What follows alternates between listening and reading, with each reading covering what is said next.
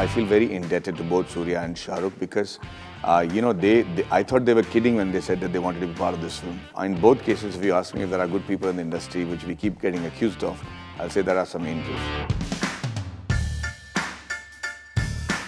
I want to see what Saif has done to my role because I think he's an exceptional actor and uh, I want to see his take on Vikram. I don't think it's a competition between the North and the South. We are the Indian film industry. When we go out at Cannes, it's an Indian film. It's not a South Indian or a North Indian film, it's an Indian film.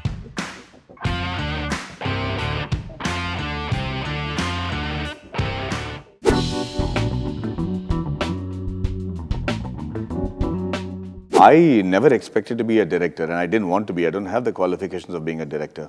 But when I met Dr. Nambi Narayanan, I was moved by his story to such an extent that I felt it was a national disservice not to know about Dr. Nambi Narayanan. You know, the fact that he's only known wherever he is for the spy case by itself is an insult to the injury, right? And more important than that, uh, uh, you know, there is a fact that he was given the Padma Bhushan and nobody knows why. And on top of that, the reason he was given the Padma Bhushan is so essential for our nation right now, uh, for us to retain our intellectual capital that so badly is required in the years to come. I thought it became it became like a like a uh, a passion, like a insanity project for me actually. And uh, so when I went in there, I wasn't expecting to direct the film.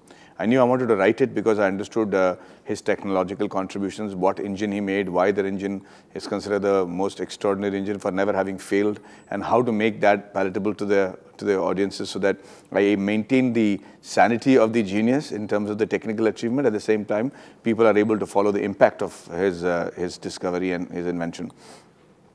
And then the fact that uh, uh, I wanted to act in it because every actor dreams of doing a sort of a lifetime role where he's playing from a young guy to an old guy. I did not know that that is going to be the biggest challenge of my life and there was so much of learning in place because of that. The third thing is I didn't find a producer for this film because it didn't have the usual markings of the commercial viability of a film like the cliched songs and the fights. So I decided to put my money where my mouth is to produce it. But I wasn't expecting to direct it. And uh, just 25 days before the shoot was to begin, my director, for reasons uh, beyond our control, was not able to direct the film because we were delayed in casting the film. And, uh, and so the, response, uh, the, the responsibility of directing the film fell on my shoulders.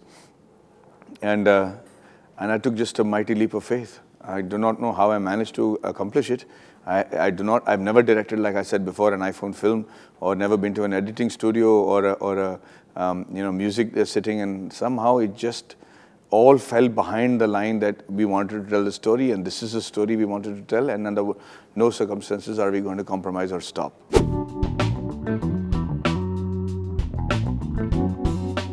You know, I met Nambi sir and uh, he was telling me that he was very happy with the kind of work I have done and he's a fan of mine.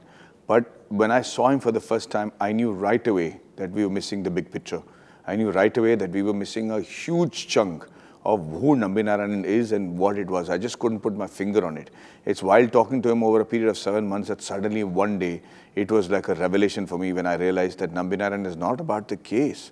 It's all about his achievements, his spectacular achievements in Princeton, New Jersey, or in France, or in Scotland, or in USSR while it was breaking up and he had to get the rocket engine, smuggle it out of Siberia and bring it to India, the kind of things that he has done that nobody knows. And he considered all that normal part of his job. All that, like James Bond would, was just a normal part of a day. And I, I felt it was completely uh, wrong and, and, and almost non-patriotic not to know about Nambi Narayanan.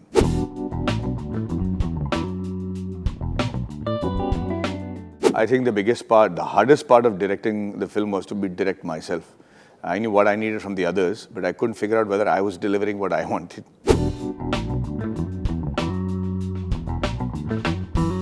Well, you know, when I started this film, it's supposed to be a small film about a poor man's James Bond. And it turned out to be James Bond ka film. And I didn't expect it to do that. I didn't expect it to be uh, premiered at, at, at Cannes.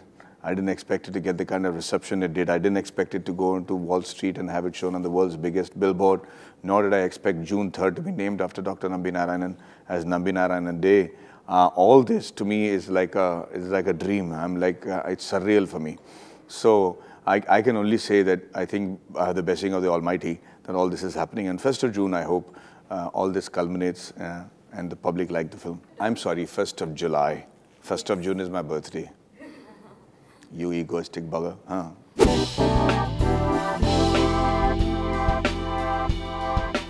Both of them are playing themselves in the film, so I didn't have to direct them at all. And secondly, uh, it feels I feel very indebted to both Suriya and Shahrukh because, uh, you know, they, they, I thought they were kidding when they said that they wanted to be part of this film. Shahrukh actually said, I want to be part of this film, and I never thought that he meant it. But uh, he said, no, no, give me a passing in the background, but I want to be seen in this film. And uh, there wasn't a role where I could have Shahrukh pass in the background. There was a prominent role, and he said, when are the dates, what do you want? He didn't take any money from me. He paid for everything himself. And I think I thought he was doing it for the love of me. But when I saw him meet Nambi Narayanan, I realized there's more to it than Merti Eye. But in both cases, if you ask me if there are good people in the industry, which we keep getting accused of, I'll say there are some angels.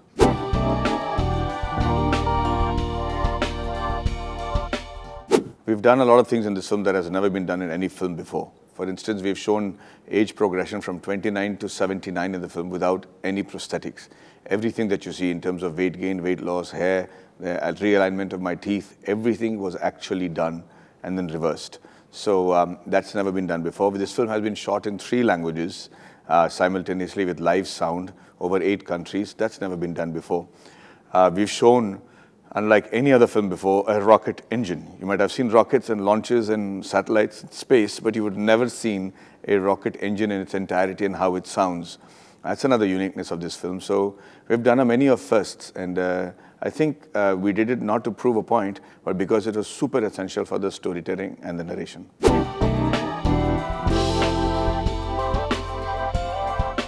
I think if you look at it specifically, there is a uh, there is a uh, RRR, there is Bahubali 1, Bahubali 2, there's KGF 1 and 2, and Pushpa that have done considerably well than other Hindi films. Those are only the films we can actually confidently say have done better than Hindi star films. But that doesn't mean it's a accepted pattern and norm. There are other films, big films from the South that have not managed to do that. And similarly, not all Hindi films have been rejected by the audiences. This year, we have had some unique acceptances as well, from Gangubai to Kashmir Files to, uh, to Bhool Bhulaiyaa. So I think if you look at all these films, one thing that they have in common is all these films took their time being made. All the actors gave their blood, sweat and soil. None of these films were made in a hurry. And, uh, you know, all the actors stayed in character completely throughout this film.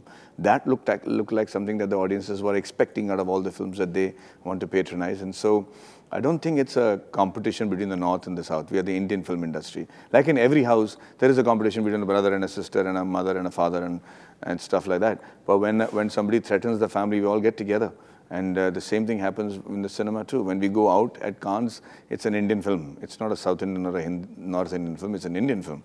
So um, I don't think there's uh, as much um, fire to the fuel that is being uh, fueled in, in this controversy.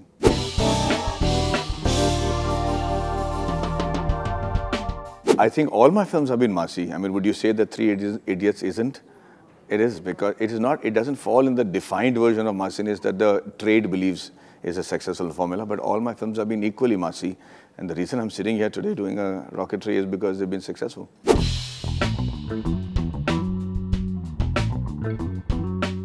Most certainly. I mean, it's a film after my own heart. It's being directed by a close friend of ours, uh, uh, Pushkar and Gayatri, the same team that directed it in Tamil. But at the end of the day, I want to see what Saif has done to my role because I think he's an exceptional actor. We've I've worked together in Rehna Hai Tere Dil and uh, I want to see his take on Vikram.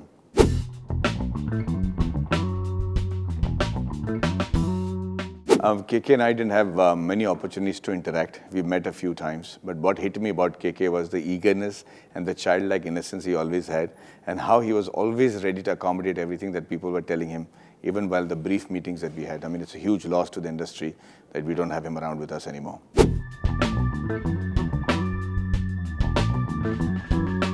You, you probably see me doing one thing or the other for sure uh, on screen uh, sooner than later. But as far as Decoupled is concerned, I don't think there is a possibility of uh, coming back on season two as of now because uh, I'm completely inundated with the projects that I'm doing.